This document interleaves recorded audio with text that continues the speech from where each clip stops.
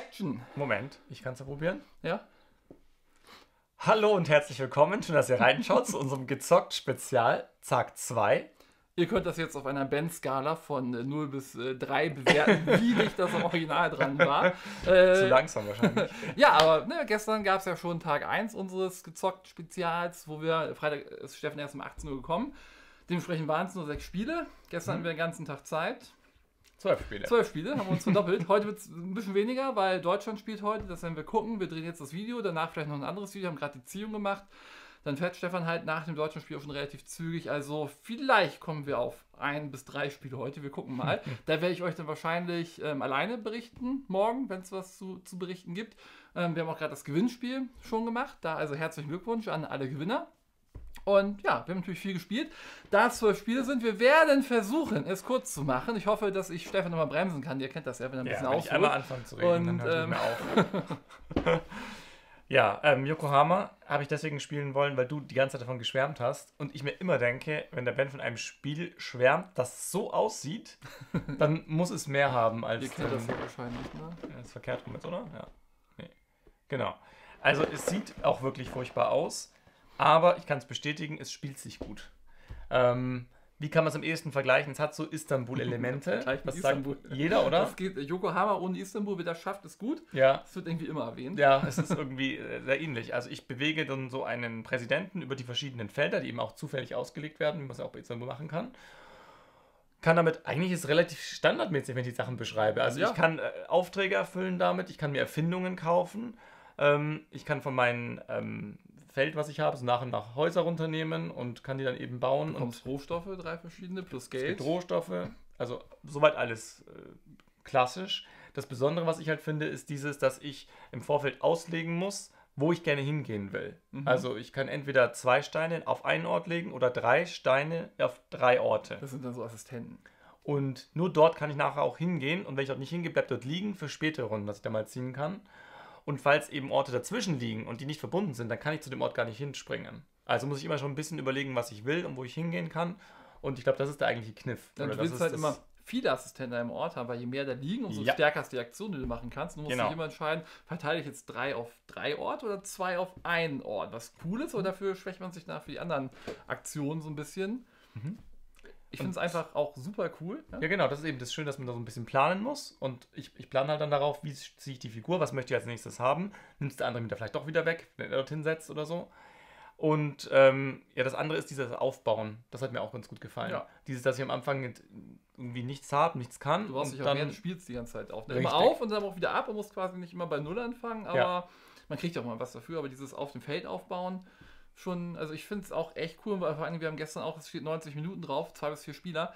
Wenn man die Erklärung weglässt, ich glaube, wir haben eine Stunde oder so gebraucht. Das war auch wieder trotzdem sehr zügig. Und die Erklärung war jetzt auch wirklich nicht schwer. Also das Nö. Spiel sieht halt einfach furchtbar aus. Also Ja. ich habe das gesehen, habe gesagt, nein, das will ich nicht spielen. Habe ich auch gesagt. Ich habe das ja bei Marcel gespielt vor einem Jahr, fast dreiviertel Jahr. Und habe gesagt, Marcel, ich spiele das nur mit dir, weil ich dich sehr, sehr mag. Und wenn du sagst, wir spielen was, ich spiele gerne alles mit dir.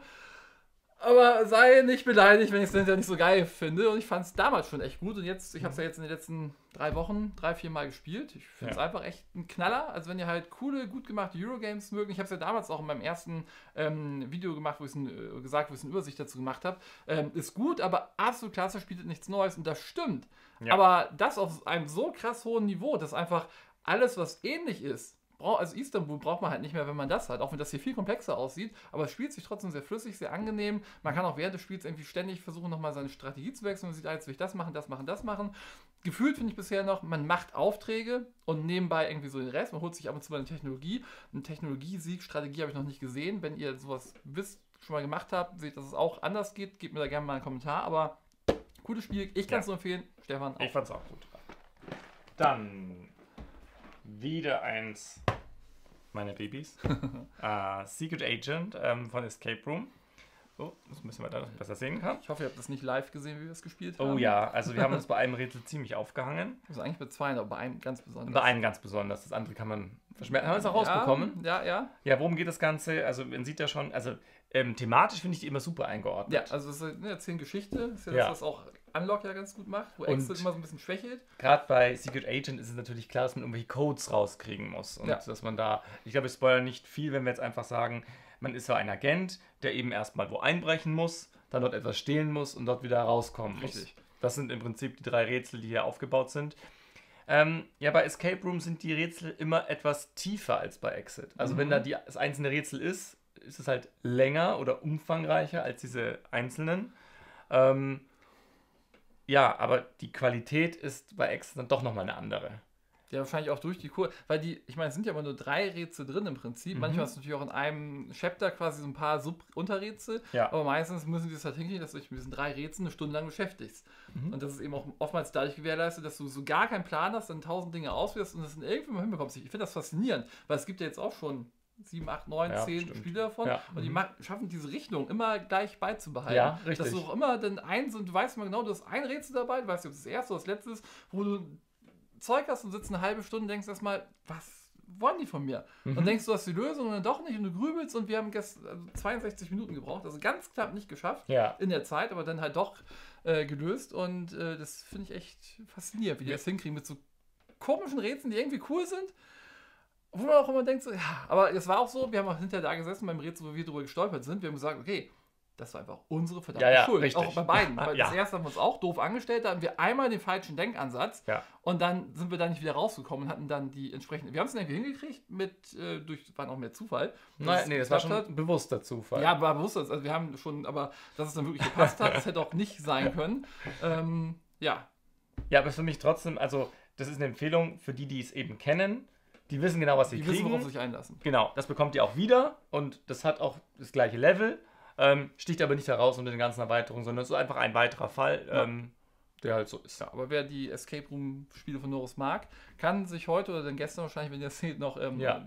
werden wir dann Kann über das, den zweiten Fall äh, reden, The Dentist, den haben wir auch noch da. Mhm. Sind wir auch sehr gespannt drauf.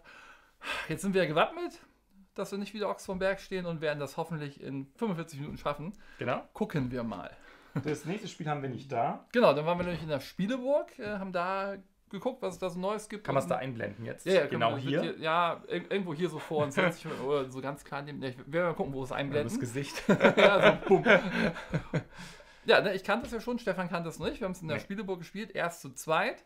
Und dann haben wir Colin getroffen, der ja auch häufiger mal im Livestream dabei Also wir ist. reden über Funkelschatz. Ich weiß, hast du schon gesagt? das ist Funkeschatz, ja. Ah, okay. Also Funkeschatz. Ähm, und äh, ja, ich kenne es ja schon, erzähl du doch einfach mal. Ähm, ja, es ist Spiel des Jahres, also Kinderspiel des Kinderspiel des Jahres Jahres. geworden und ähm, deswegen hat es mich interessiert. Deswegen habe ich gedacht, okay, ich will es zumindest mal spielen. So, worüber es geht, habe ich gewusst, aber es ist immer noch was anderes, wenn man es dann selber spielt Ja. und auch fühlt. Und das ist auch, also mich hat es angesprochen. also mir war es so, ich hatte meinen Spaß dabei und ich mag vor allem das, also für die, die es nicht kennen, da sind diese acht Ringe, die übereinander liegen und da drin werden Diamanten gefüllt und dann muss man immer einen von diesen Ringen wegnehmen und dann fallen die Diamanten raus. Und dann kriegt jeder im Vorfeld, muss sich eine Farbe aussuchen von den Diamanten. Und es geht halt drei um, deswegen sucht sich der, der vorne dran ist, natürlich das aus, so am ehesten denkt, wie viele runterfallen werden. So kann man es zusammenfassen Ja. eigentlich. So ein Guck- und Einschätzspiel. So Genau. bisschen. Und ich mag es deswegen, weil das auch sowas ist, das kann man gut mit Kindern spielen und muss sich nicht verstellen. Also ich habe jetzt nicht das Gefühl, da müsste ich jetzt extra, ja, nehme ich halt irgendwas, dass es halt nicht so ist. Ne, ich kann da ganz normal mitspielen. Richtig. Also das, das finde ich Weil immer ganz gut. gucken, welche Farbe da jetzt gerade oben ganz oft liegt. So rot sehen halt auch, weiß Ja. nicht, wann das ist, Sechsjährige oder so. Ja, Und die kriegen das dann auch raus, das vorsichtig wegzunehmen, glaube Genau. Und ein bisschen natürlich kann man schon mit Geschick auch was noch ändern oder steuern, wenn man das so runternimmt, diese Ringe. Aber ja, also es ist ein Ist- Kinderspiel, zu ja. Recht ein Kinderspiel, ähm, was man gerne mitspielen kann. Und ich denke auch, dass, also ein Kinderspiel des Jahres auch. Ja, kann man gut verschenken als Oma, Ja. Opa, Onkel, was auch immer.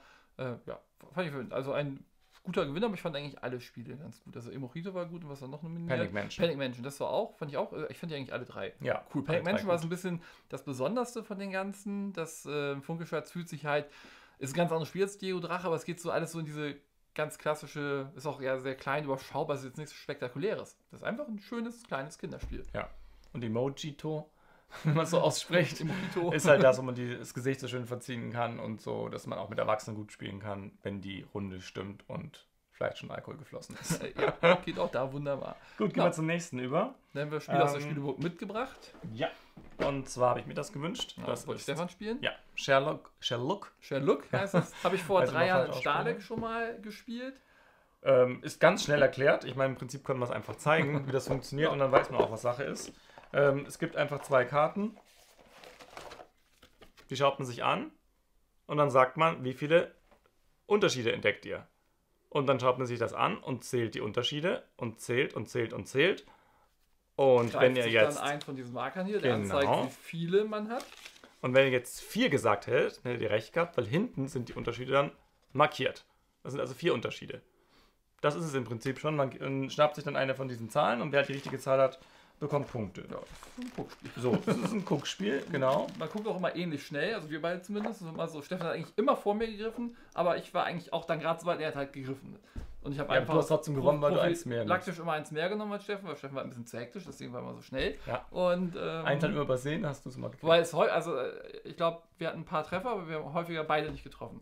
Dass Ja, dann ja. doch noch irgendwie Das ein oder auch. zwei mehr waren oder weniger. Ja, das ist so ein, finde ich, nicht nur so ein Guckspiel, wie du sagst, sondern auch so für mich ein Einmalspiel. Ja. Da spielt man einmal, hat Einmal. seinen Spaß und dann sagt man auch, ja. Ja, das kann gut in der Ludothek oder im Spielecafé rumstehen, weil das kann Genau. man ohne Erklärung spielen. Mhm. Aber ich wüsste nicht, also ich habe es jetzt nochmal weil Stefan spielen wollte. Ich Ja. würde es immer mitspielen, weil es ist halt nett oder so. Ja. Aber ich wüsste halt auch nie, warum soll ich das rausholen? Das ist es, genau. Ja. Also das ist halt für eine ganz spezielle Gruppe dann eigentlich, aber Ist halt so. Ist eine, ist eine, es, ist ja oft, es gibt ja viele Spiele, wo du denkst, das Konzept ist irgendwie cool, kann man ein Spiel daraus machen, weil auch wenn es das noch nicht gibt oder so, auch nochmal mit einem neuen Kniff, aber wenn man es so spielt, denkt man auch so, ja, habe ich jetzt einmal gespielt, habe ich gesehen, danke. genau. Ja. Bitte. Dann ähm, das nächste. Oh ja, mein Liebling. Ja, wir haben nur Kinderspiele gespielt. Äh, Woodlands, das ist gar nicht ein Kinderspiel, ne? Nein, ist kein 10 bis Kinderspiel. 99. Ähm, aber es wirkt schon sehr. Also die Aufmachung ist sehr Ja, ist kindermäßig. märchenmäßig und so. Aber ich habe das, es steht ja auch schon ein bisschen länger rum in der Spieleburg. Ich habe mir das jetzt irgendwie, hat mich jetzt, äh, ich weiß nicht aus welchen Gründen, nicht so angesprochen bisher. Und ja, ich ähm, habe es in der Messe auch völlig ignoriert. Also ich bin an Ravensburger vorbeigegangen und habe das gesehen und habe mir Mhm. gedacht, Schulterzucken, ja, gut, was ist das? Und Stefan kann schon nicht mehr hören. Es ist aber quasi LuniQuest, das Legespiel. Ja, eigentlich schon, halt Weil- ohne Stift. Ja, ihr kennt ja LuniQuest, da muss man auch auf so, ein, so eine, ähm, hat man so ein Level, der liegt in der Mitte und da muss ich halt aufmalen, wie ich durch diesen Level durchkomme, von A nach B, den Wachen ausweichen, nicht im Stein lande und dann wird das hinterher drüber gelegt und dann gucke ich, was ich getroffen habe, was nicht, ob ich Punkte bekomme. Und LuniQuest ist im, oder Woodlands ist im Prinzip genauso. Da kriegen wir auch eine Aufgabenbeschreibung, so führt irgendwie Rotkäppchen zur Großmutter, äh, geht aber nicht beim Wolf vorbei und führt den Jäger zum Wolf und sammelt zwischendurch noch Edelsteine und Pilze ein. Dann hat man auch so eine Auf, ich weiß nicht, ob man das jetzt so hier so sieht, aber so, so, eine, so eine durchsichtige Auflage quasi, die dann auch in der Mitte liegt, wie bei LuniQuest, alle sehen, wo man so potenziell hin muss. Dann hat man halt so Legeteile, so Plättchen, die man einfach rauslegt, so, ein- so ein 3x3-Raster, wie so Memory-Teile im Prinzip, wo halt so Landschaften drauf sind, so ein, immer Weg und Wald. Und dann muss ich einfach da puzzeln, so dass die Leute, die Wege wirklich so sind, dass eben ne, Rotkäppchen nicht zum Wolf geht, sondern zur Großmutter, dass ich das Lagerfeuer nicht im Wald habe, weil sonst der Wald abbrennt, ich dafür Minuspunkte bekomme. Und das machen wir einfach beide um die Wette mit dem eigenen Satz. Sobald der erste fertig ist, drückt er auf die Uhr, dann hat der andere noch 45 Minuten Zeit, äh, 45 Sekunden. Sekunden. Zeit, das aufzumachen. Und ähm, ja, dann wird halt das Ding draufgelegt und guck mal, hat man Pluspunkte, hat man Minuspunkte. Ist auf dem einfachen Schwierigkeitsgrad sehr einfach. Auf dem komplexeren Schwierigkeitsgrad muss man schon puzzeln, gucken, umlegen. Und da kann es noch wirklich sein. Also Stefan hatte gerade in den ersten beiden Runden sehr viel Stress, als ich dann auf äh, Start gedrückt habe. Ähm, weil dann, ja, wenn man sich, man legt irgendwie hin. Und wenn man dann am Ende merkt, so, oh verdammt, das geht nicht, ich muss nochmal komplett neu anfangen, dann ist ein bisschen Ja. doof. Dann ist es ein bisschen schwierig. Ähm, ja, ich finde vor allem schön, dass man so eine thematische Einbindung hat. Also man hat ja ähm, Robin Hood, Rotkäppchen, ähm, die Artus-Sage und Dracula. Fabelhafte Legespiel. Das sind so die ähm, verschiedenen thematischen Einbindungen. Man liest wirklich einen Text am Anfang vor. Also Rotkäppchen geht in den Wald und sie möchte zur Großmutter, aber auch, äh, noch ähm, Pilze dazu einsammeln, aber auf keinen Fall den bösen Wolf sehen. Oder irgendwie sowas. Das finde ich immer ganz nett, diese Einbindung, dass man dann die Punktezahlen dann hat, ähm, die man da kriegen kann. Es ist natürlich so, dass diese Folien, das sind so dann mehrere Kapitel, die man durchspielt, sich halt wiederholen. Also im Prinzip, wenn du es einmal gespielt hast, das erste Kapitel, dann die Folie wird das nächste Mal wieder gleich sein. Ja. Und ich sehe das schon ein bisschen problematisch. Wie bei LuniQuest ja im Prinzip auch. Wäre es auch ja, so, Auch richtig. immer die gleichen Challenges. Ja, das ist da eben auch. Ähm, ich habe trotzdem viel Spaß damit, gerade dann im höheren Schwierigkeitsgrad. Also, da wird es mich schon anstrengend, weil man will natürlich jeden Boni abgreifen, der drauf ist. Da sind so Diamanten drauf, da will man jeden bekommen und dann muss man halt wirklich genau die Karten dorthin legen, wo sie angedacht sind. Und das ist halt das Anspruchsvolle, das Schwierigere dran. Oder man verzichtet halt und sagt, ich bin dafür schneller fertig. Ja, es gibt ja so Schatzkarten da drin, die man finden kann, wo teilweise auch Sachen bei sind, wo man es den Mitspielern ein bisschen schwieriger machen kann. Das wäre halt noch eine ganz gute Idee gewesen, das direkt als Variante reinzubringen, dass man immer so ein Deck Karten hat, das nebenbei aufdeckt, wo noch irgendeine Bedingung draufsteht. Puzzle mit der linken Hand oder äh, dreht eure Sets auf die schwierige Seite oder tauscht irgendwie drei Teile untereinander aus, dass man da einfach so für jedes, für den Durchgang so ein bisschen mhm. anderen Schwierigkeitsgrad hat. Dann kann man es nämlich auch mit dem gleichen Set aber ein bisschen anders spielen, weil dann hat man immer eine andere, äh, andere Herausforderung. Es ist nicht immer genau das gleiche. Man kennt zwar generell das Layout, aber muss sich schon allein mit anderen Voraussetzungen auseinandersetzen. Das äh, wäre einfach, das ein bisschen noch interessanter zu gestalten, aber es ist halt eben auch wirklich ein Familienspiel. Ja. Aber selbst bei Familienspielen kann man sowas ja machen, dass es auch darauf interessant bleibt, wenn man nicht das einmal durchspielt und sagt, okay, jetzt kennen wir es. Mhm. Also es war auf, die, auf der Empfehlungsliste vom Spiel des Jahres ist mhm. auch gelandet. Und ich bin mir ziemlich sicher, dass es davon auch dann Erweiterungen geben wird. Weil das bietet sich ja gerade so an, dass man andere Geschichten dann noch mit reinbringt und das ein bisschen noch ausschmückt und ausbaut. Also das, ja. Eine Sache noch, ich kann nicht verstehen, dass man bei der Grafik es ja. als gut empfunden hat, eine komplett weiße Fläche als Auslege teilzunehmen. Ja, also dieses, dieses durchsichtige Ding, das legt man halt in die Mitte auf so ein weißes Blatt Papier im Prinzip, wo auf der Rückseite zwar ein bisschen Artwork drauf ist, aber das Ding selbst ist komplett weiß. Ja. Das, das ist gut, weil dann sieht man das alles und ist durch nichts verwirrt. Aber die das Anleitung, die hat außen so einen grünen Rahmen, glaube ich, ja. drum und dann so ein bisschen hellbeige als Hintergrund. Hätte man Wenn man da einfach den Text weggelassen hätte, das ja. einfach genommen hätte oder das auch in weiß mit einem Rahmen drum, irgendwie ein bisschen Artwork da drauf. Da, so packt man das halt aus und denkt sich, jetzt habe ich hier so eine weiße Seite liegen in so einem Spiel, wo mhm. tolle Grafik eigentlich bei ist. Ich muss es ähm, zeigen. Müssen also, ja, das ist, äh, also das ist sozusagen das. Ja, das legt man einfach hin so und dann kommt da die Folie drauf.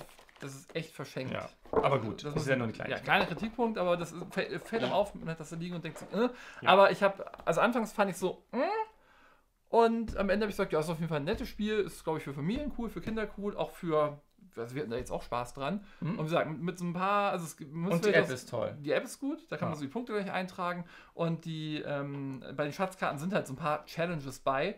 Die kann man einfach, glaube ich, auch, wenn man das ein bisschen pimpen will, einfach raussuchen und dann immer jede Runde eine nehmen, die irgendwie für alle gilt oder so. Wenn man das so will. So. Heaven und Ale. Ja, Heaven and Ale. Hatte ich jetzt zum zweiten Mal gespielt und das letzte Mal ist ein halbes Jahr, glaube ich, her. Ungefähr. Ja, ja sogar. Ja. Und deswegen habe ich einfach gesagt, ja, Kennerspielnominierung, jetzt muss ich es auch nochmal spielen und nochmal einordnen. Aber im Prinzip wurde mein Eindruck, den ich damals hatte, auch wieder bestätigt. Also es ist ein, ähm, wie soll man sagen, ein... Sehr hübsches. Äh, ja, also ich finde es gar nicht so schlimm. Ja, ich also ich finde eigentlich okay, den Stil. Es ist ein ähm, Zwängespiel für mich. Also ich, ich habe die ganze Zeit, werde ich, bin ich Zwängen ausgesetzt mhm. und immer habe ich das Gefühl, ach, klappt nicht. Ach, klappt nicht. Also wenn dem Gefühl ich habe immer die. Also Stefan hatte das Gefühl. Ja. Die beste Partie ever. Ja, aber deine wie viele Partie ist das gewesen? Fünfte, sechste. Ach ey, okay, nach fünf, sechs ist man schon so weit. Ja, also war auch, glaube ich, Zufall, aber ja, erzähl weiter. Ja, ich war am Ende ganz zufrieden, weil ich habe dann doch ähm, 20 Punkte gehabt und äh, ich habe schon Spieler gesehen, die hatten null in der ersten ja, Partie oder was vier dann. Schnell passieren, passieren kann. kann. Also das ist schon, es ist ein knüppelhartes Spiel und es ist aber schon so, dass man, also es, es motiviert es motiviert halt nicht sozusagen im Spiel währenddessen, weil man eigentlich immer nur so Rückschläge bekommt, mhm. aber danach motiviert man, wenn man sich denkt, okay, beim nächsten Mal mache ich es aber besser. Also ich kann die Plättchen besser hinlegen und ich weiß jetzt, wo es drauf ankommt. Ich weiß, welcher Rohstoff mir am Ende gefehlt hat. Und deswegen, äh, ja, man lernt halt daraus. Also hat eine schöne Lernkurve.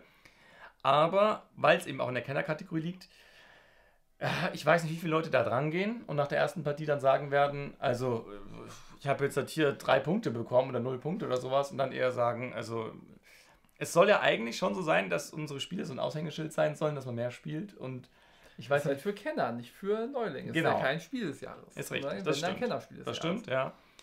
Ähm, aber es ist auch etwas, also das, das spiele ich gerne. Also das, das spiele ich auch jederzeit gerne mit. Ähm, ich weiß noch nicht, ob es jetzt mich so anspricht, dass ich sage, ja, da will ich mich verbessern. Ich will mehr spielen und mehr spielen und mehr spielen. Ich kann nur sagen, es klappt. Ich bin ja auch jemand ja. bei so Eurogames. Die spiele ich, zeige die gerne, verkauft die dann auch gerne, weil ich brauche die nicht, weil ich weiß genau, 80% der Eurogames, die so rauskommen, egal wie cool die sind, die spiele ich halt einfach nicht wieder und ähm, dann sind die halt auch schnell weg. Wie ihr seht, das ist noch hier. Ich finde es halt ja. cool, ich zeige es immer wieder gerne Leuten, ich spiele es immer wieder gerne, aber auch ich denke mir halt jedes Mal, das geht besser.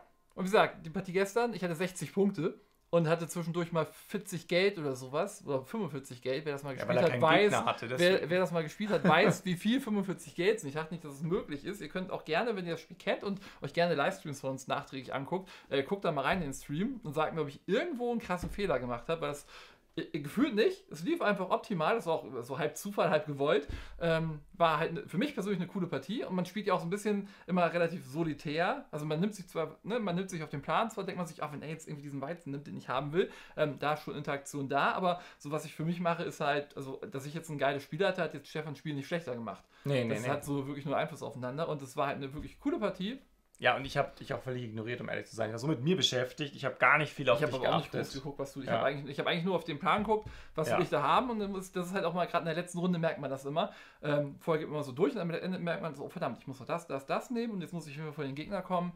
Und das Spiel halt auch so, das merkt man auch in mehreren Partien. Am Anfang denkt man immer, man will diesen Hofplan irgendwie effizient zubauen und da ganz viele Wertungen haben. Aber irgendwann merkt man dann, okay, ich sollte auch vorzeitig auf diese ganzen Wertungen gehen am, am Rand, weil du hast, glaube ich, fünf Wertungen am Ende. Ich hatte halt alle außer eine.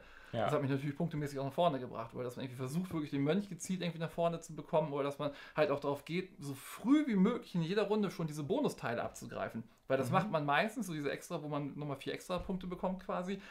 In den bisherigen Partien ging das immer erst in der dritten von drei Runden los. Jetzt habe ich schon versucht, in der zweiten Runde darauf zu gehen. Da habe ich auch nur eine 3 insgesamt bekommen. Ich hätte halt schon gerne versucht, 4 zu bekommen. Also, das sind so kleine Kniffe im Spiel, die man erst lernt, wenn man das ein paar Mal häufiger gespielt hat und versucht, da gezielter drauf zu gehen. Dann macht man einfach noch mehr Punkte. Also, es ist ich sage ja immer von den Kennerspielen, wenn ich diese Kennerspielkategorie definieren würde, dem Namen nach, das einzige Spiel, das wirklich Kennerniveau hat, weil die anderen sind erweiterte Familienspiele. Das sind halt Spiele, die schon ein bisschen mehr Anspruch haben, aber jetzt nicht so der Spielekenner, ne, zu denen ihr quasi wahrscheinlich auch gehört, wenn ihr diesen Kanal guckt, mhm. wo ihr sagt, so, oh, das ist genau das, was wir uns so als fortgeschrittenes Spiel vorstellen. Da fällt Heaven and Eight auf jeden Fall voll rein. Ich finde es super cool gemacht und werde es auch, glaube ich, noch behalten. Ich denke, ich werde wahrscheinlich das irgendwie nächstes Jahr dann auch mal wieder. Aber wirst du nochmal spielen nach dem Ergebnis jetzt? Kannst ja, ich kann mich eigentlich nur verschlechtern. Also eigentlich ist jetzt der perfekte Zeitpunkt zu sagen, es Marcel, abzugeben Glückwunsch. ja, da stehen schon ein paar mehr Leute Schlange, aber äh, war auf jeden Fall, also ich, ja, ich finde es cool. Gut. Ähm, wir haben nochmal News gespielt, also jetzt zum zweiten Mal, weil ich wollte es gerne nochmal in einer größeren Besetzung spielen. Also wir waren dann zu viert, genau, vier. als wir es gespielt haben. Vier bis fünf irgendwann. Wie es ja eigentlich auch angedacht ist, dass man in einer Gruppe richtig spielt. Ja, unsere Konstellation so, gestern war ja nicht Genau, wir haben zu dritt gespielt und haben irgendwie so eine Dummy-Regel gehabt oder so. Jetzt ganz regulär. Ähm, mir gefällt es sehr gut. Also dieses Element, dass ich etwas aussuche für die andere Gruppe und die aber nicht wissen, was die anderen fünf Karten sind, die ich hatte. Das ist das Interessante eigentlich. Ähm, zum Beispiel sag ich, hast du gesagt Angela, Angela Merkel? Und ich habe dann die Karte bekommen und habe mir nur gedacht, okay, ich sehe, auf worauf er hinaus will. Also worauf er mich eigentlich. Nee, wie war das nochmal? Du hast gesagt, ich muss eine. Nee, ich habe dir gesagt. Nee, du hast mir die Karte gegeben. Richtig. Wo halt so ein Drache mit so einem ja. Engel und so einem Schwert so drauf war. Genau. Und du musst irgendwie eine persönliche, nicht fiktionale Figur dazu nennen. Ich ja. konnte das jetzt nicht Siegfried Drachentöter sagen oder so, sondern musste irgendjemanden nehmen, den es gibt. Und ich habe halt gesehen, da gibt es eine so eine Frau, die aussieht wie ein Engel drauf. Also habe ich dann überlegt, Angela Merkel. Und ich habe ihm das halt gegeben, weil ich hatte noch eine Karte dazu, wo ein König drauf war. Und ich hatte eine Karte dazu, wo so ein Steingolem drauf war. Mhm. Und dann habe ich gesagt, wenn du auf Fantasy gehst oder sowas, weil da ja so ein Drache drauf war, dann könntest du mit dem Steingolem verwechseln. Und wenn du irgendwie wegen dieser Prinzessin auf diese Richtung gehst, könntest du es mit dem König da verwechseln. Und dann sagst du halt Angela Merkel. Und dann haben wir schon gedacht, ach, okay, das wird wahrscheinlich schwierig. Also äh, nicht so, wie ich es halt gehofft hätte. Mhm. Und ja, das ist das. Oh, ich fand es super gut, weil ich dachte, da kommt Und dann saß meine Mitspielerin halt da und dachte so, oh, sie ist dann irgendwie nur auf, auf die Person an sich eingegangen. Und ich hatte extra den Namen hart betont. Und eigentlich darf man dann auch, man sagt das halt einmal und darf, man darf das nicht weiter kommentieren als Muse. Man darf das, ja. also ich würde sagen, nochmal wiederholen, das eigentlich geht durchaus, aber auch wenn man eine Melodie summt oder so. Also eigentlich gibt man Tipp halt einmal und ja. dann müssen die anderen Leute damit leben. Was doof ist, weil einmal habe ich auch eine Karte bekommen, wo so ein Skelett war, das, oder so eine Mumie war, die irgendwie sowas begraben hat, ähm, wo so eine Leiche lag und dann war im Hintergrund eine Fackel. Und dann dachte ich schon, die wollen irgendwie auf körperliche Anstrengung, auf Tod gehen oder sowas. Und dann mache ich jetzt nicht so, äh, sondern ähm, mache ein Geräusch, so die Fackel im Hintergrund. Da habe ich ein wunderschönes Geräusch gemacht, wie eine Fackel klingt. Es hat leider überhaupt nicht wie eine Fackel Der hat sich überlegt, was war das? Und vor allem, wir, dieses Bild man, man, man sitzt da halt und ich dachte mir schon so, okay, in meinem Kopf weiß ich, wie es klingen soll. Aber wenn ich dieses Geräusch jetzt gleich mache, dann wird das nicht so klingen und ich kann es nur einmal machen, weil ich kann es nicht vorher üben, dann weiß meine Mitspielerin ja schon, in welche Richtung ich gehen will. Ja. Und ich kann das auch nicht wiederholen, dann besser oder anders machen. Mhm. Hat dann auch nicht geklappt. War einer der wenigen Punkte, den wir nicht geholt haben, aber es ist trotzdem eine coole Idee. Ja, ist es nicht toll, auch dass man eben sowas hat wie mit Geräusche nachmachen oder was hatten wir noch Melodie mit, mit den Händen, ähm, mit den Fingern irgendwie ein Symbol machen. Und Gesichtsausdruck soll ich Stefan machen. Ich Gesichtsausdruck machen. Ja, Das hat, hat hat, geschaut, aber ja. gepasst. Also, Ähm, ja, also ich finde es super. Ich hoffe, dass das übersetzt ja, wird. muss ich das, muss eine deutsche Version Ja, bekommen, da muss zur eine deutsche Messe, Version weil du raus. brauchst nur die Karten einmal übersetzen auf Deutsch drucken. Das können die locker Ja. jetzt noch zu essen, äh, zu essen realisieren. Ähm, ich werde mich mal umhören, ob es da Pläne gibt. Also, das fand ich toll. Dann als nächstes ähm, haben wir Redlands gespielt. Haben wir Das jetzt auch haben nicht wir da. nicht hier, deswegen blenden wir das wahrscheinlich hier wieder ein. Genau. Habe ich auch ein Video zu gemacht. Das kommt in den nächsten Tagen online. Ja, worum geht's? Also, jeder von uns ist ein Rattenclan und der hat ein ähm, Board vor sich. Das sind drei verschiedene Öffnungen, wo ich die Ratten eben hinstellen kann. Jeder hat am Anfang acht Ratten. So Tunnelsysteme. Genau, und sind drei Tunnelsysteme. Und da setze ich die drauf und dann können sie drei verschiedene Orte gehen, wo eben Käse gefunden werden kann. Oder ich kann ähm, mich vermehren auf einem Feld oder ich kann verteidigen oder meine Nachbarn links und rechts angreifen. Also so viele Felder hat man eigentlich zur Auswahl. Da platziert man im Geheimen seine Ratten und dann decken alle auf und dann vergleicht man. Also nehmen wir an, ich hätte dich jetzt mit drei Ratten angegriffen und du hättest zwei Ratten zur Verteidigung, dürfte ich mir von dir einen Käse nehmen, den Ja. du gebunkert hast. Oder ich habe zwei in der, auf die Vermehrung gestellt, dann würde ich zwei Ratten dazu bekommen. So einfach ist das eigentlich. Genau. Wenn ich ja. drei Ratten auf die ähm, Tunnelsysteme gestellt habe, darf ich eben dreimal aus diesem Säckchen ziehen, der eben präpariert wird im Vorfeld mit den Käseteilen. Großen und Ganzen ist es das. Genau, und das Ziel ist, ich hatte es glaube ich auch schon gesagt, wir wollten einfach nur Ratten. Das heißt, eigentlich könnte ich alle meine Ratten immer auf das Vermehrungsfeld stellen, habe ich ja ganz Mhm. viele Ratten, aber ich brauche Käse. Ja. Also muss ich in die Tunnelsysteme gehen, Käse suchen. Habe ich dann aber ganz viel Käse, vielleicht mehr Käse als ich brauche, dann wollen meine Nachbarn meinen Käse. Muss ich ja verteidigen und so kommen halt so diese ganzen strategischen Elemente rein. Das heißt ein bisschen so Gamblen. Strategisch. Was machen die anderen? Ein bisschen Puschelack, was ziehe ich aus dem Beutel raus? Und also es, ich würde jetzt sagen, es ist so ein Spiel. Äh, Wir hatten Spaß auf jeden Fall. Also wir haben danach, äh, wo wir auch so. noch drüber reden, ein anderes Draftspiel gespielt. Das war so interessant, aber es war sehr ruhig. Jeder hat so Karten vor sich hingedraftet, ausgelegt, sich ein bisschen Gedanken gemacht. Das war halt sehr leblos. Und das Redland war einfach witzig, wenn da jemand was aus dem Beute gezogen hat, wo Das er dann stimmt. wusste, okay, jetzt irgendwie verrecken mir drei Ratten. Und wenn Sophie da vier Käse liegen hat und denkt, oh Gott, die kommen jetzt und holen meinen Käse und von ihren zehn Ratten acht auf Verteidigung stellt. Und Marcel und ich jeweils sagen, pff, ist uns doch egal, wir setzen keinen auf Angriff. Und Sophie denkt, oh Gott, jetzt habe ich da alles verteidigt, ich habe keinen neuen Käse. Ähm, das war einfach lustig. Also es ist einfach ein lustiges, kurzweiliges Spiel wo ich halt immer noch nicht sehe, warum ich das jetzt häufiger spielen soll. Aber wenn jetzt irgendjemand sagt, oh hier, ich habe Redlands da, würde ich gerne spielen, würde ich immer sagen, ja klar, spiele ich ja, mit, war witzig. schon. Äh, ich Ähm, brauche das jetzt nicht zwingend selbst. Es ist auch so nee. gefühlt, da hat man das einmal gespielt und dann auch schon alles gesehen. Es gibt dann auch Varianten, wo die Ratten dann auch noch interaktiver, wo beim Verteidigen und Kämpfen die wirklich auch äh, Ratten verlieren, wo man am Ende auch deutlich weniger Punkte hat, wobei wir jetzt auch nur 18 Punkte, das war gefühlt nicht äh, so viel. Ähm, ja, also es war cool. Wir haben auch Feed, äh, das gestreamt, da gab es eben auch das Feedback, ähm, dass es auch ein Zuschauer hatte, der meinte, hier, äh, mit Kids ist das voll toll, die finden allein das Befüllen des Beutels immer voll toll und da dann rausziehen. Äh, also ja. mit Kindern Mhm. kommt das auf jeden Fall echt gut an. Da sind Ratten ja auch, es gab ja auch dieses Pi Pirates oder so. Ähm, das war auch ein cooles Spiel, das auch in Familien ganz gut ankam. Und äh, ja, Also für mich war es zu glücksabhängig. Also ich meine, man kann einfach alles richtig hinstellen und kann eigentlich sich was Gutes gedacht haben. Es kann sogar aufgehen und dann zieht man aus diesem Beutel und zieht halt viermal ähm, eine Niete raus Genau. und plötzlich sterben die ganzen Ratten. und das ist halt super, weil Und ich meine, Sophie hat am Ende zwei Ratten gehabt. Und es kann nicht sagen, dass sie jetzt irgendwelche falsche Taktik oder so angewendet hatte. Das war halt einfach extremes Pech, was sie hatte. Ja, also ein Mix aus beiden. Ja. Wir haben auch einfach sie hat also platt gemacht. Ich habe sie da auch einmal angegriffen, Sachen weggenommen. Und äh, ja, aber es ist Glück spielt definitiv Genau. eine große Rolle, aber Ja. das ist weiß Also mir zu glück, glückshaftig. Also sowas, was ich mitspiele, aber niemals selber vorschlagen würde. Und ähm, aber mit der Glücksanteil zu Ja, hoch war, war auf jeden Fall nett, das mal gespielt zu haben. Wie gesagt, hab ich, haben wir ein Video gemacht, wie wir fünfter spielen, so mitten reingefilmt, ein bisschen erklärt nebenbei. Äh, dann ist das vielleicht alles so ein bisschen verständlicher. Aber wie gesagt, ich fand es auf jeden Fall unterhaltsam, aber kein Spiel, das ich persönlich Ja, brauche, ja. das man aber für Familien durchaus empfehlen kann. Gerade so Kids haben da, glaube ich, wirklich Spaß dran. Dann das nächste. Hier wieder. Na, Marcel war halt da und er hatte wieder seinen großen Cajon-Rucksack voller Spiele dabei. ähm, Fields of Green war das. Ähm, kannte ich vorher, das war auf der ähm, Spieleschmiede, glaube Mhm. ich, eine, ein Kickstarter. Ähm, war das jetzt ver verbunden mit Among the Stars? Das ist quasi oder? Among the Stars 2.0. Aber ist es Subtext wirklich auch das Agricola. gleiche? Ist es das gleiche, auch wirklich angedacht, dass es eine Nachfolge ist vom gleichen Ja, Autoren? Auch ich glaube, ja. so, okay, gut. Also ähm, Fields of Green. Wir haben einen Bauernhof, ähm, den wir aufbauen müssen und es ist ein Draft-Spiel. Also wir haben Karten am Anfang, suchen uns da irgendwas aus, also entweder ein Acker oder ein Haus oder eine Kuhweide, Anlage und so weiter. Silo. Genau. Silo. Und da steht halt jeweils drauf, was es für Funktionen hat. Und dann muss man versuchen, die passend zu kombinieren.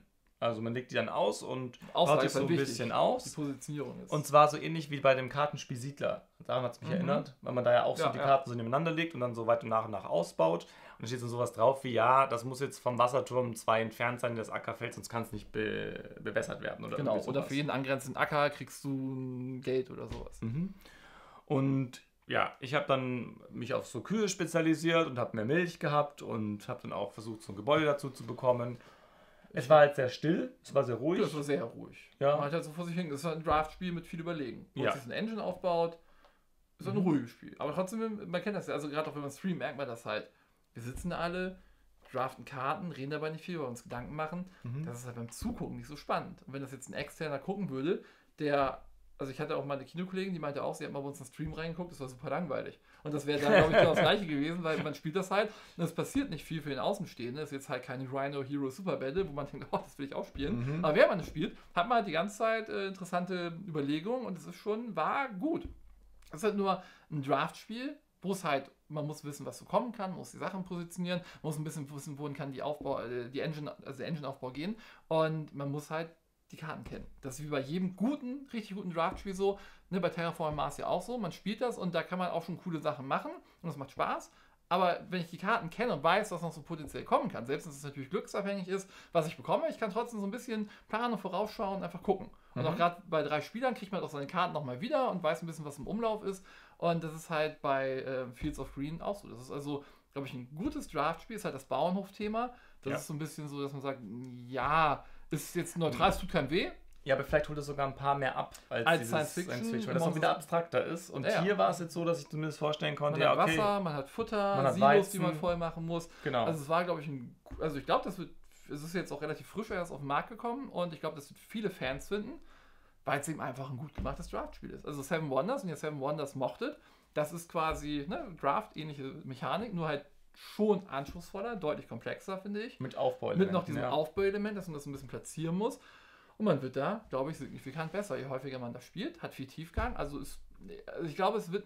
Ich mag, also ne, Terraforming Mars, ich mag ja Draft-Spiele eigentlich auch gerne. Ich habe auch mal versucht, eine Top 10 Draft-Spiele zu machen. Es ist dann zu einer Top 5 Draft-Spiele geworden, die ich auch nicht veröffentlicht habe, weil es gibt gar nicht so viele gute Draft-Spiele, wo man sagen kann, die sind wirklich so würdig, dass sie in die Top 5 kommen. ne? Ich Ja. mache ja nicht Top 10 und Top 5 und sage so, hier bei 10 ist Cut, sondern ich sage, die Spiele sind würdig, da reinzukommen. Und da könnt ihr auch gerne einen Kommentar schreiben, was so eure Top 5 Draft-Spiele sind, als Inspiration für mich. ähm, Also es ist halt so, ich finde, für mich ist es halt einfach solide. ja, Ich kann mit dem Spiel nicht groß was kritisieren, aber es ist auch nicht so, dass es für mich packend war. richtig. Ähm, bei Terraforming Mars habe ich die Interaktion, weil ich halt doch auf diesem Planeten noch was lege und noch was mache und damit ein bisschen mehr Und mit viel mehr anderen verbunden guckst. sind. Genau. Wenn du halt Jupiter-Symbole sammelst, dann will ich nicht, dass du ein Jupiter-Symbol Und das war halt hier nicht so, sondern ich habe halt für mich gebaut und was die anderen so machen, war jetzt nicht so. Ja, das, gu- das guckt man, glaube ich, ja auch mit mehr Spielerfahrung noch ein bisschen mehr drauf, aber ich weiß Mag nicht, ob es gefühlt ist da nicht diese Terraforming Mars-Interaktion Nee, bei. natürlich, also bei weitem nicht. Also wie gesagt, ein solides Spiel. Ja, aber halt auch so ein Spiel, wo man sich auch, also mit Terraforming Mars, ich vergöttere ihn und bewundere ihn, wie er sich sowas krass gebalancedes mit so vielen verschiedenen Aspekten ausdenken kann. Und bei Fields of Green dachte ich auch, so ein cooles Spiel, mit ein bisschen sich hinsetzen und irgendwie ein halbes Jahr oder ein Jahr nur das machen, äh, das kriegt man halt auch selbst hin. Weil die Grundidee ist einfach. Also natürlich, also ich glaube, also, ne, man redet immer so leicht. Ja, natürlich, auch wenn man es so wirklich macht, dann äh, steckt da schon wirklich viel Arbeit drin. Das ist auch wirklich Respekt an den Autor. Aber es ist halt so eine, sag ich mal, sehr simple Idee, die jetzt nicht so den neuen Kniff hat, sondern einfach nur dieses Draft, also im Prinzip ja Among the Stars nochmal neu aufgelegt hat. Mhm. Äh, ja, ist halt wirklich gut, solide. Wenn ihr euch das kauft und Spaß habt, dann, oder wenn ihr schon denkt, das spricht euch an, so ne, platzieren, Bauernhof, draften. Hat auch eine Ähm, schöne Grafik. Ist, also hat auch schöne schön aus. Grafik, ist also cool und ich, also wenn ich es glaube ich hätte und Leute in meiner Gruppe hätte, die sagen würden, finde ich total cool, kann ich mir vorstellen, dass das ein paar Partien sehen würde und ich dann halt so nach zehn Partien sagen kann, okay, es ist ähnlich wie bei Terraforming Mars, ich habe auch das Gefühl, nach 30, 20, 20, 30, 40 Partien noch was dazu zu lernen oder, okay, Ah, aber das, glaub weiß man nicht. halt nicht. Ja, weiß und ich, das und glaube ich. so werde ich es wahrscheinlich auch nicht spielen. Also ich werde es mir Nee. wahrscheinlich von Marcel nochmal ausleihen, euch ein Video dazu machen, dass ihr einfach das mal seht und wisst, ob das was für euch ist oder nicht, unabhängig jetzt von unserer Meinung. Und ja, ich Ja. würde sagen, ne? Gehen wir zum nächsten. Die weil wir müssen Zeit ja läuft. Zwei Minuten pro Richtig. Spiel. Ähm, Now Boarding haben wir als nächstes gespielt. Genau, diesmal richtig. Warum? Ach so, Ich habe ja, ich ja auch schon, ich habe auch ein Video dazu gemacht und im Video habe ich auch gesagt, das Brett hart, wenn es nicht einmal gewonnen. Man Mhm. kriegt dann am Anfang gleich ein extra Upgrade und dann wird es auch ein bisschen leichter. Was ist es knapp. überhaupt? Muss ich erstmal sagen. Also, es ist kooperativ. Das ist das eine Mal, was wir bisher nämlich noch gar nicht hatten, glaube ich, ein kooperatives Spiel Kooperativ, in unserer Liste jetzt. Echtzeit. Äh, und Echtzeit, also zwei Sachen, die ich ja total gerne mag. Jeder von uns hat so ein eigenes Flugzeug und versucht dann Passagiere über eine Landkarte hin und her zu fliegen. Und wichtig, nicht so ein hektisches Echtzeitspiel. Nee, es ist wirklich nicht so hektisch, weil diese ähm, Echtzeitphase ist im Prinzip nur 30 Sekunden und davor bespricht man sich ab, was man eigentlich machen möchte und sagt dann, okay, ich nehme den Passagier von A nach B und du nimmst ihn dafür dann bei B auf und fährst ihn nach C, weil da muss er eigentlich hin. Und dann sagt der andere, Moment, aber ich muss doch eigentlich darüber gehen. Also man versucht eben im Vorfeld so zu planen und baut sich dann nach und nach auf. Also am Anfang kann man drei Felder gehen und dann später konnte ich an sieben Felder mich, glaube ich, bewegen Ja, und konnte auch mehrere, genau, und drei Passagiere aufnehmen.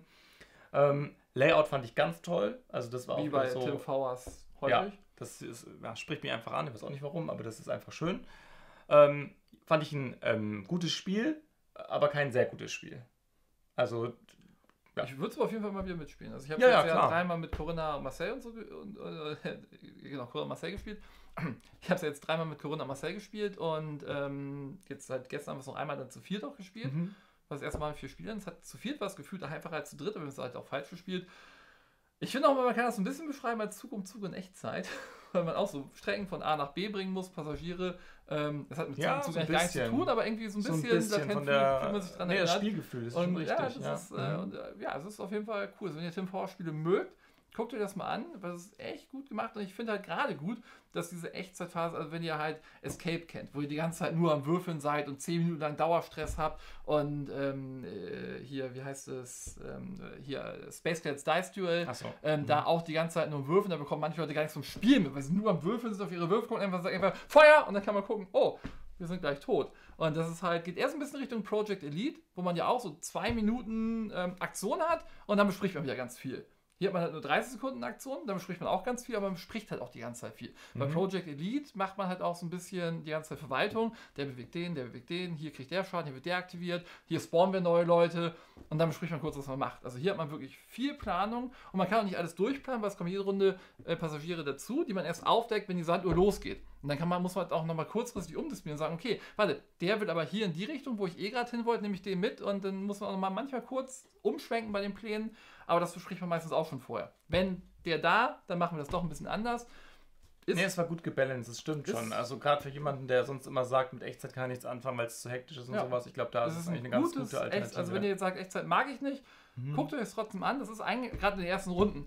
Besprecht ihr, sagt, ich fliege von da nach da, nehmt den da mit, dann wird die Uhr umgedreht, ihr sagt, okay, zack, zack, zack, ich lade den ein, zack. Nimm fertig. mit und ich habe das gemacht, ja. Zum Ende hin wird das dann ein bisschen hektischer, Mhm. aber auch nicht, also nicht hektisch. Es wird einfach nur viel zu tun.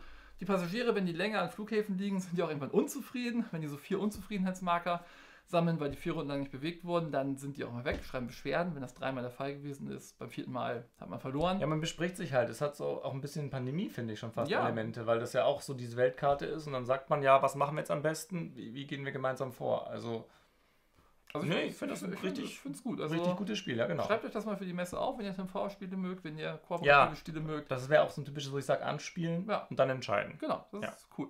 Gut. Dann haben wir gespielt Mogul. Mogul. Sagt mir vielleicht nichts, aber Hat mir auch nichts gesagt. mir auch nicht. Und willst du was dazu sagen? Ja, es ist halt äh, ein Spiel von Michael Schacht von, ich glaube, es war schon ein bisschen älter, 2002 Zwei, oder? oder so hatten wir. Mhm. Und es ist so ein bisschen so for sale geschenkt. So ja auch Mix so, so, so ein Mix aus den beiden Spielen. So ganz klassisch ist, also von Grundmechanik halt, ne? ich habe irgendwie sechs so Geldchips auf der Hand, dann wird halt eine Karte aufgedeckt und ich muss halt entscheiden, will ich die haben oder nicht. Falls ja, lege ich halt so ein, einfach mein Geldchips, die ich verdeckt in der Hand habe, in so eine Holzschale und das machen halt drei um alle so lange, bis sie jetzt denken, okay, da liegt so viel Geld drin, ich will diese Karte nicht unbedingt, ich nehme jetzt das ganze Geld, Mhm. bin aus der Aktion raus, dann sind halt alle anderen Spiele, die noch drin sind, werfen wieder ihren Geldchip da rein, dann sagt irgendwer, wie ich passe, nimmt das Geld raus, man versucht immer einen guten Deal zu machen, man denkt, okay, ich lege noch einen rein, damit es noch vielleicht einmal rumgeht und ich ganz viel Geld bekomme. Hat zu dritt jetzt nie funktioniert, da war eigentlich immer klar, zwischen zwei und eigentlich zwei und drei Geld war immer der Ja. Standard. Vier gab es selten, fünf glaube ich nie. Ja. Und die Karten selbst, die dann da waren, das war halt einfach so, ich, wenn ich äh, bei eine schwarze Karte drei Stück gesammelt habe und es wird eine schwarze Karte aufgedeckt, bekommen alle so viele Punkte, wie sie schwarze Karten haben. Dann kann ich, wenn ich diese schwarze Karte bekomme, kann irgendwie anders eine Aktion mit der schwarzen Karte machen. Das heißt, er kann entweder so ein schwarzes Häuschen auf diesem Plan stellen, der wie so Eisenbahnnetz zeigt. Und wenn ich halt auf der schwarzen Linie drei Häuser habe, bekomme ich dreimal drei Punkte. Und dann kann ich aber auch noch sagen, stattdessen, okay, ich mache das jetzt nicht, das Häuschen dahin stellen, sondern ich gucke, wie viele schwarze Karten haben alle anderen Spieler. Du hast zwei, Stefan hat drei, sind fünf. Ich habe zwei schwarze Karten, also ist jede meiner Karten fünf Punkte wert. Ich verkaufe die, fertig. Und das ist halt so ein cleveres Spiel. Ja, aber es ist extrem kommunikationsarm. Ich habe einfach so vor mich hingespielt, habe einfach nur diese Münzen so reingelegt oder habe halt aufgehört. Und äh, es hat nichts mit Eisenbahnen zu tun. Nee, gar nicht. Also ich lege halt dann die Häuser auch noch so rein und also mich hat es wirklich gar nicht abgeholt. Mich also, auch nicht. Marcel sagt, ich verstehe es gar nicht. Das ist Ja. voll gut, voll clever. Ja, ist es, aber es ist clever und nicht nur, weil ein Spiel Es hat mich nicht ist. berührt. Also dieses Spiel muss gut hat, sein. genau, also es darf es ist clever. Das, Ja, das, es ist, das gut. ist Es richtig. gibt dem Spiel nichts vorzuwerfen. Es ist ein gutes Spiel. Ja, aber, Aber- es muss mich halt auch irgendwie auf einer gewissen Art und Weise packen. Und keins dieser Elemente hat mich jetzt motiviert, gepackt oder berührt. Dass man sich da jetzt auch, also man konnte sich viele Gedanken machen, aber ich wollte das irgendwie nicht. Ja, Genau, also ja. muss, wir haben es nachts um zwei gespielt. Ne? Das ist jetzt auch so, da ist man auch nicht mehr ganz so fit, wenn wir es jetzt morgens gespielt hätten, wären wir ein bisschen mehr drin gewesen, glaube ich. Aber selbst Aber- damit hat mir das Spiel nicht gefallen. Nee, also wir haben auch schon gesagt, so dieses Geräusch von diesem kleinen Geldstück aus Holz, das in diese Schale klimpert. Dieses, das Sagt alles über das Spiel. sagt alles aus. über das Spiel. Das ist so sehr dominant. Das ist das, was einem irgendwie nach dem Spiel im Gedächtnis bleibt, zumindest uns beiden. Und Also ich möchte beim Spiel reden können mit den anderen. Ich möchte zumindest sagen können, ah, jetzt hast du mir das weggeschnappt. Oder, ah, ich brauche das unbedingt, ich will das noch und du steigst es gleich aus oder irgendwie so. Aber das war alles nicht, sondern es war eher so, hm, Ja, jeder macht so sind vier, 100% nehm ich sein so. Ding. Wobei bei Fields of Green redet man jetzt auch nicht so viel miteinander. das stimmt, aber da hatte ich noch, Da, das ist interessant, was man selbst genau, tut. ich habe noch was Interessantes gehabt, was ich selber tun so, kann. Und das war, ich, was ich jetzt machen konnte, fand ich nicht interessant. Also wer halt wirklich so- darauf steht, seine Punkte immer zu maximieren, wer aus sowas wirklich Spaß zieht und dann sagt, boah, wenn ich da mir toll Gedanken machen konnte, hier das Maximum, hier, da coole Entscheidungen getroffen habe. Also wer sowas cool findet bei Spielen, der Und wird das abstrakt, und also abstrakt, ohne Thema. ohne Thema, der wird das und cool finden. deine Mitspieler müssen das auch so mögen. Nö. Weil, wenn du Marcel selber auch das, Spaß, ohne dass wir Spaß dran hatten. Ach so, na gut. Weil du spielst ja schon vor dich hin. Wird Naja, Karte aufgedeckt und du hast ja auch, außer dass ich tue da ein Ding rein, jetzt nicht so viel Interaktion. Schon, aber ich glaube, es ist für ihn auch nicht spannend, wenn er keine Gegner hat. Ja, natürlich. Also, bei mir war es, tut mir leid, mir war es einfach egal, ob ich jetzt die Aktie verkaufe oder nicht, weil das war für mich so, Ja, aber wenn ihr cleveres Punkte maximieren mögt, dann könnt ihr euch das mal angucken, wobei es ist jetzt, wie gesagt, auch schon alt und ich würde auch einfach stattdessen For Sale spielen. Das habe ich gespielt, Ja. das fand ich witzig, nett, unterhaltsam, kurzweilig. das fand ich es besser. Aber dieses Geschenk ist noch zu teuer, das war auch okay. Also, aber genau. Mo- Mogul habe ich jetzt auch einmal gespielt und ich weiß nicht, ob ich mittlerweile einfach zu versnobbt bin oder zu viel kenne, aber bei vielen Spielen sage ich, einmal gespielt, äh, fertig. Ja, gut, es war auch ein altes Spiel. Also, man Ja. muss sagen, das war damals zu der Zeit, hätte ich wahrscheinlich das gespielt. 2002 hätte ich wahrscheinlich gesagt, oh, toll, weiter Ja. vertiefen und mit Leuten spielen, aber wir hatten ja nichts. richtig, das war ja damals vor den goldenen Zeiten des Brettspiels. So, das letzte haben wir jetzt wenigstens wieder dabei. Ich wollte noch irgendwas zum Abschluss spielen, dass ich wach werde. Es war halb drei oder irgendwie sowas. Ja, da habe ich gesagt, ach, lass uns irgendwas Schönes, Lustiges, Schnelles noch spielen, wo ich auch Spaß haben werde. Ja, ich hatte Spaß, ich habe natürlich wieder verloren, aber ich hatte zumindest Spaß. Ähm, für die, die es nicht kennen, Also, du warst die ganze Zeit da und meinte so, wie kann das sein, dass ihr schon fertig seid? Da stand bei ihm doch eigentlich alles so viel am Anfang. also man hat diese Eissachen, ich habe mich schon wieder Mühe am Anfang, Eiskugeln und Eisbecher und man muss dann auf einer Karte, das kannst du mal nehmen, das dann so hinbekommen, wie es auf dieser Karte Doch, aussieht. man sieht es. So, und dann halt um die Wette, alle schnell. Und dann muss man halt ganz schnell versuchen, ah, okay, ich mache das auf das drauf und Weil man darf auch mach nicht, das, man das darf rein so machen, und sondern man muss leg das wirklich auf und weiter. um und hier und den darauf und, und dann darf das die da Eiskugel drauf. nicht anfassen. Also es geht nur mit den Bechern hier. Go, go, Gelato! Genau. Und, und, dann, und, dann, und dann ist der meiste Satz, der nachher immer kommt, wie kann das sein? und man spielt das eigentlich, bis irgendjemand fünf von diesen Karten gesammelt hat, wovon es ähm, mehr als, also ganz viele gibt. Ich habe vorher schon gesagt, man spielt bis fünf, man spielt eigentlich den ganzen Stapel durch Ja. und natürlich haben wir den ganzen Stapel durchgespielt, Ja. weil das geht auch schnell und das, also es geht so sehr in die Richtung von Dr. Eureka. Mhm.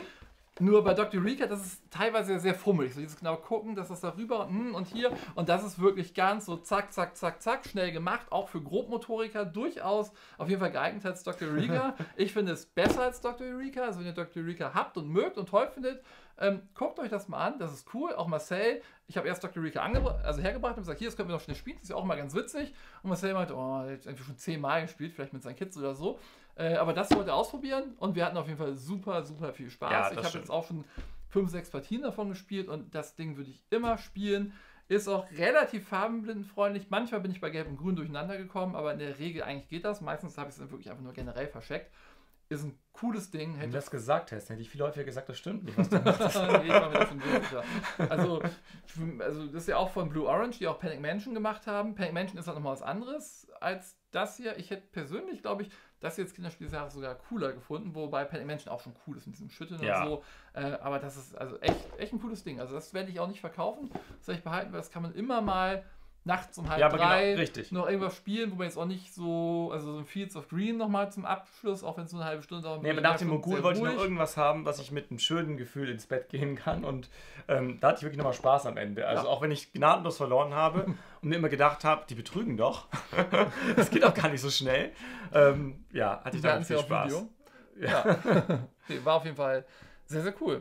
Genau. Und das war alles, was wir gespielt haben. Wie gesagt, heute ja, ich fürchte, wir werden nicht zu so viel kommen. Ein, zwei Spielchen noch, da werde ich euch gesagt, morgen darüber berichten. Ich habe auch bevor Stefan gekommen ist, noch ein, zwei Sachen gespielt. Äh, wie gesagt, wie, wie ihr gerade seht, ähm, ich habe ja manchmal so eingezockt pro Monat. Jetzt gerade sind es ein bisschen mehr, was auch sehr cool ist, dass man trotz Sommer noch viel zum Spielen kommt. Und werde euch da auf jeden Fall dann auch berichten, wie das Ganze so war. Wir werden, also ich bin nächsten Monat in München. Dann mhm. werden wir wahrscheinlich nicht streamen, aber ich werde dann, also werde Stefan besuchen, dann werden wir da natürlich auch wieder spielen. Kann mhm. ich mal wieder mich in seiner Spielesammlung austoben. Genau. Und dann gucken wir mal, ob wir das im Juli nochmal schaffen, dass Stefan hier nach Göttingen kommt. Ansonsten denke ich spätestens im August, wobei da bin ich auch wieder in München ah, äh, ja, für ein paar okay. Tage, aber wir kriegen das schon hin. Und ja. wie gesagt, die Streams sind immer sehr cool, sehr interessant, sehr spannend. Stefan bespaßt auch den Stream immer sehr, sodass man teilweise sitzt und irgendwas erklärt und dann, man weiß schon genau, man muss gleich alles nochmal sagen. Fragt dann gleich nach, was nochmal. das ist auf jeden Fall sehr unterhaltsam, sehr cool, macht sehr viel Spaß. Ja. Das macht da, mir sehr viel Spaß, das stimmt. Guckt da gerne mal rein und ähm, ja, dann sind wir mal Gut. gespannt, was heute noch so auf dem Tisch landet. Es mhm. ein bisschen nach El Horror aus. Mal gucken, wie wir es zeitmäßig so schaffen. Und ähm, dann sehen wir uns. Wie gesagt, jetzt die Woche über werde ich wahrscheinlich ganz so viel. Ich werde mal gucken, wie viele Videos ich noch vorbereiten kann. Hamburg aber könnten wir aufrufen. Genau, Hamburg machen wir vielleicht noch mal ein extra Video okay. zu. Machen wir ein extra Video zu, weil ich bin nächste Woche in Hamburg, wenn Hamburger da sind. Aber äh, machen wir ein ganz kurzes Video zu, wie ich das ja auch letztes Jahr vor Berlin gemacht habe. Mhm. Und mhm. ähm, ja, dann würde ich sagen, bis, bis bald. bald. Und tschüss. Und tschüss.